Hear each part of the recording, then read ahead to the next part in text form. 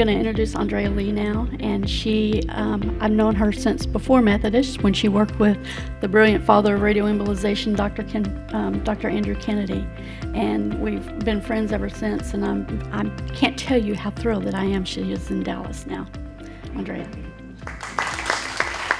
My name is Andrea Lee, and I'm the oncology program manager at Methodist Dallas Medical Center. Um, as Suzanne mentioned, we met in Nashville when I was working as a nurse navigator. Um, but I just kind of wanted to talk to you today about the importance of having a team and what that looks like and how that can change treatment options and what's discussed. So I brought one of our teams here to speak with you today. So, before you got a diagnosis of cancer, most people have a general practitioner. They've got one doctor that they see for everything. You know, maybe you've gone to see a specialist if there was something specifically that was wrong, but when all of a sudden you've got a diagnosis of cancer, you've got a medical team. You've got a pathologist who's looking at the cells under a microscope and telling you exactly what the different components are and how those things behave. You've got a radiologist who's looking at the images on a scan and you know telling the rest of the team here's where the tumor is and here's the different structures that it's close to. If surgical oncologist, um, hopefully, who's looking at those images. Um, and if you haven't had a surgical oncologist look at your scans, it's always important to make sure that the surgeon does look at the images versus someone else reading the report and saying, yes, resectable, no, not resectable. You want that decision to come from that person. Um, but then also you've got a medical oncologist who's you know, working with that team and telling you what chemotherapy, what systemic agents are available, um, an interventional radiologist who is telling you what treatments, what liver-directed therapies are available for you in that particular situation. And, and you're in the center, so you've got all of these different specialists who are trained to see the problem from different ways. And it can be a little overwhelming, to say the least. Um, one of the places that they discuss these cases is at a tumor board. So I just threw up some questions to ask your doctor, um, like was my case discussed at a tumor board? Where all of those different specialists are sitting around a table looking at imaging and pathology and talking about what they have to offer for you. Um, and looking at you as a whole person, not just the disease, but you know, what else is, where are you at in your life? Um, not everybody wants the same thing. So asking yourself, what's important to me, is just as important as all of those other opinions, because you're the one who gets to make that choice. Um, you know, I think when I was a navigator, I would call my patients after tumor board and I would say, okay, here's what the discussion looked like. Here's what surgical oncology said. Here's what medical oncology said. Here's what radiation and interventional radiology said. Here's the different pros and cons of each one of those things. Here's the consensus that was reached, but I'll meet you at your appointment when you come back in and we can discuss all of this and talk about what's right for you. Um, it's nice to have someone to translate oncology is its own language and once people start talking in all of these words it's you know you're just thinking like i don't understand what's happening i don't know what that means and as soon as you start thinking about all of those things it becomes hard to listen to what's actually being told to you much less remember it and make decisions based on it. So having a nurse navigator i don't know can you raise your hand if you have a nurse navigator? Just a couple of you. Yeah so that's someone who works with your whole medical team. You know, they know each one of those different specialties. They work with all of them. They walk you through the process, and they're your central point of contact. Um, versus calling one office and calling another office and another office and leaving messages and hoping that those people talk to one another. Um, a nurse navigator really streamlines that process. They're your advocate throughout the whole thing. Um, they're there to help support and guide you, educate you on things that you know maybe you didn't understand the first time around or forgot, and when you get home, you just need someone to call and translate all of that complex medical information. So if you don't have a team, you can ask for one. I think you know that's sort of my message here is to be an active participant in your care. The healthcare system is great and it's so much better. I mean, you know, we're just constantly advancing and learning new things, but it can be overwhelming and, and what you say to your doctor changes what your doctor says back to you. So if you ask about these things, was my case discussed at a tumor board? What did they talk about?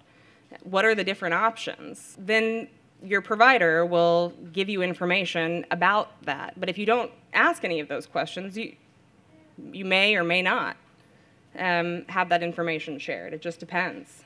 So. How many of you have experienced stress as a result of your cancer journey? How many of you have experienced anxiety? Depression? If you look around, that's normal for the cancer experience. It's not pleasurable, but it is part of the shared human experience. So I wanted to take a minute and talk with you today about the importance of how you use your mind and how that affects your physiology. So prior to the last 20, 30 years, mind body medicine was sort of seen as something that was only on the fringes. It was kind of woo woo and maybe, you know, all that hippie stuff. But advances in neuroscience have shown us that how we use our mind actually changes the structure of our brain and it changes the signals that are sent to the rest of our body, which changes how we're in relationship to our internal experience as well as how we're in relationship to our external experience. We are able to listen and remember. So, my area of interest is in judgment and decision making, cognition and perception, how we filter information in and out depending on the focus of our attention so just for a minute, direct your attention to the back wall, the farthest wall that you can see from wherever you're sitting.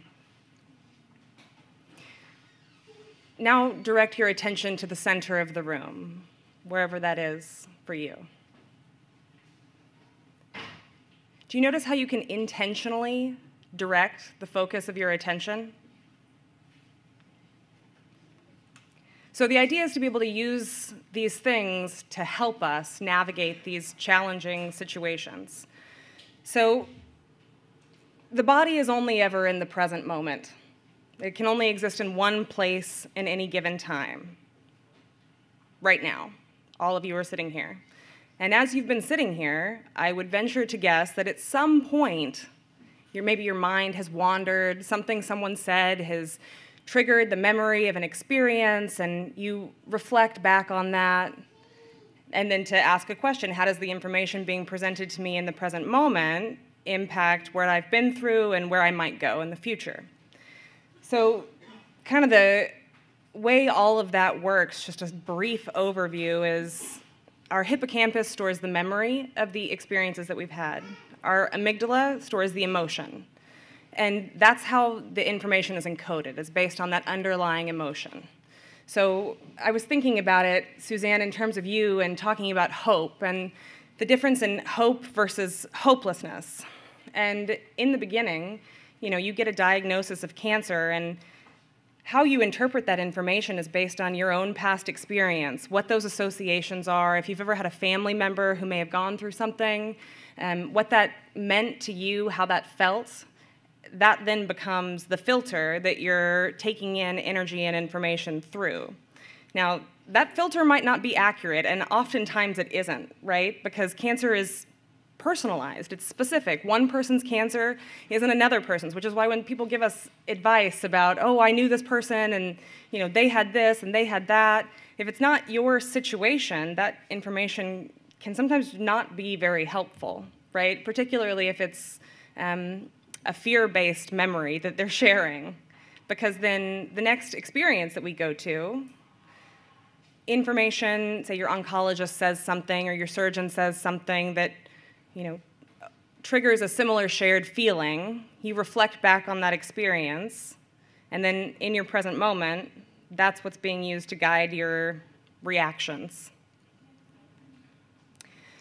And what that feels like is we start thinking about something and then we start feeling it. So I think, um, oh gosh, I can't believe I'm in this situation. Oh, this is so bad. This is so bad. You know, my mind is wandering to the past, it's ruminating, I'm thinking the same repetitive thought over and over again. This is so bad, this is so bad. Those are sending those thoughts are sending signals to the rest of my body. So then I start feeling tense and anxious. The more I start feeling tense and anxious, the more I start thinking anxious thoughts. The more I think anxious thoughts, the more I feel ten- anxious. And then all of a sudden I'm walking around as an embodied mental state. I am anxiety. When that happens, memories tend to co activate. So one will activate the next, activate the next, and we're no longer in the present moment. So the networks in our brain that govern rumination and mind wandering versus being mindful and engaged in your present, they can't actually be active at the same time, which is useful if we're in the present and we're trying to plan or organize information, take steps. It's, it's not a bad thing. It's just can not really serve us when it gets out of control.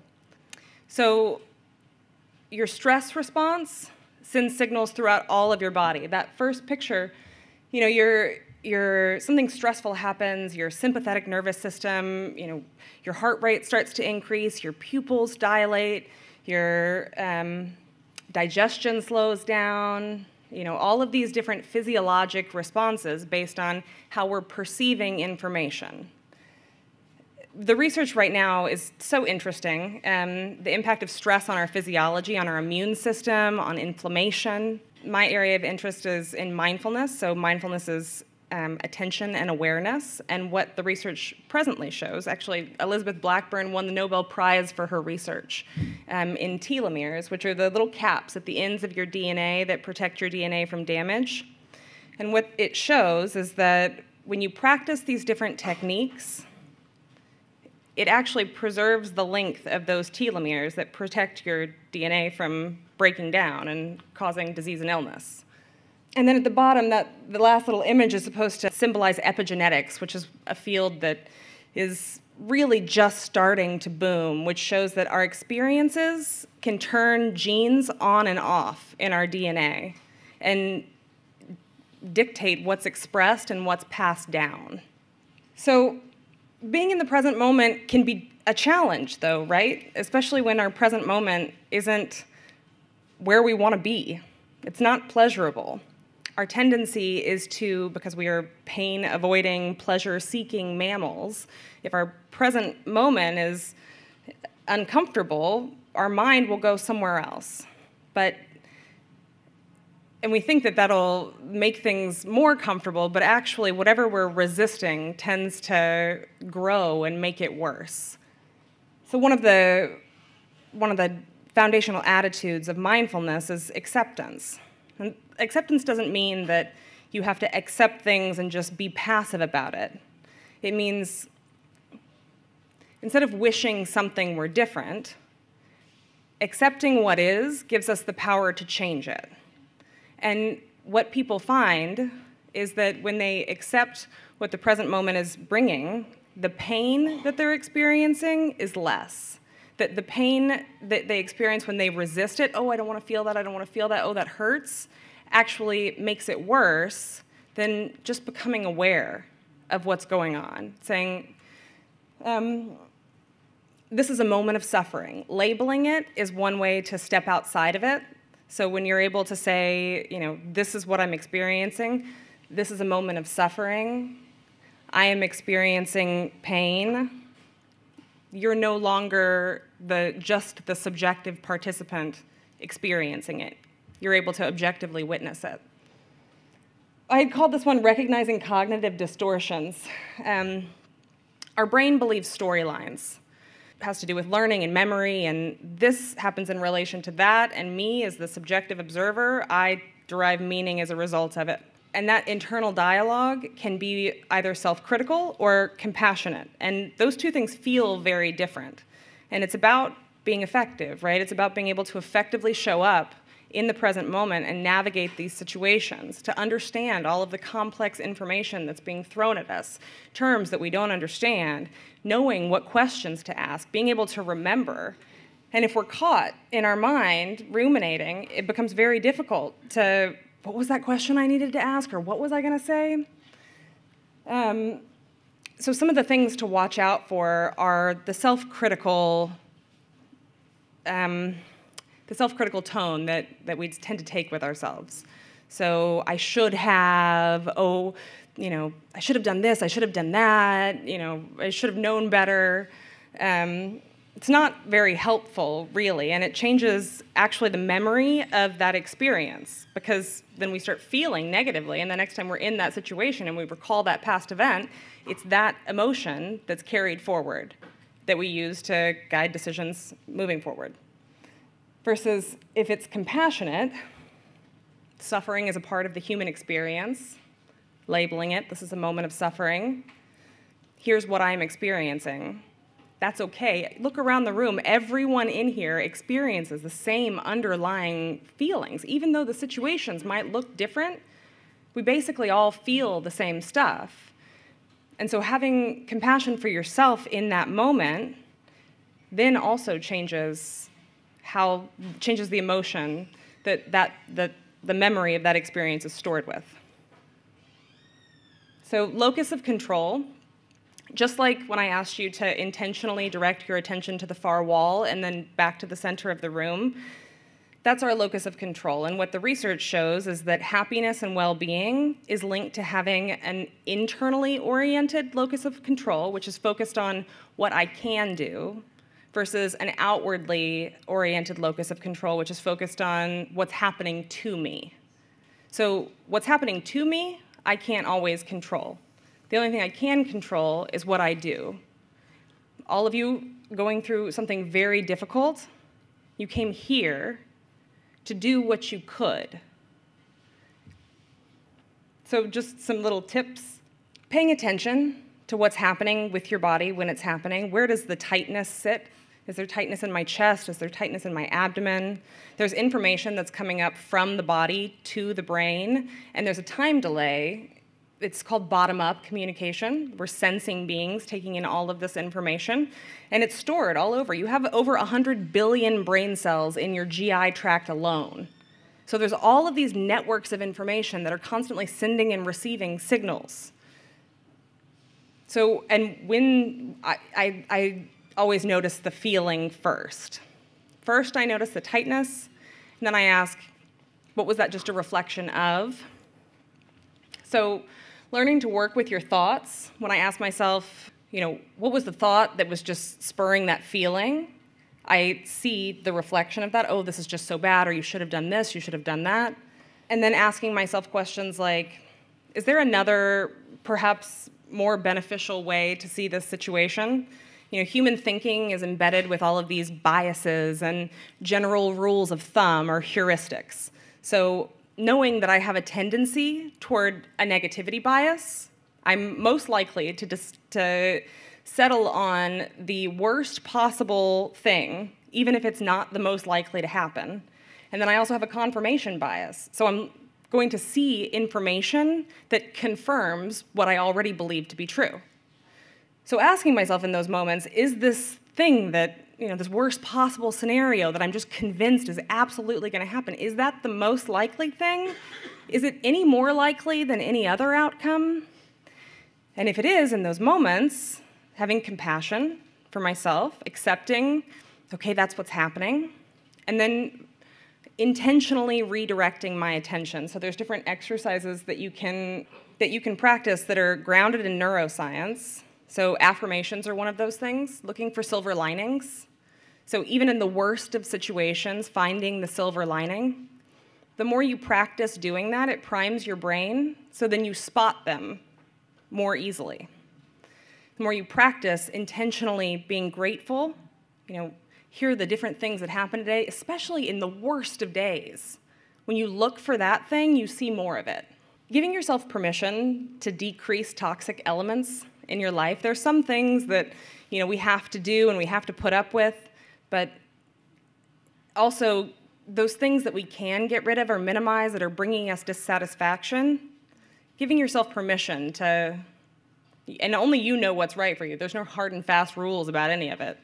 Um, but being gentle with yourself and then increasing joy by savoring the experience of the good things. The more we practice drawing our attention to that, we experience more of it.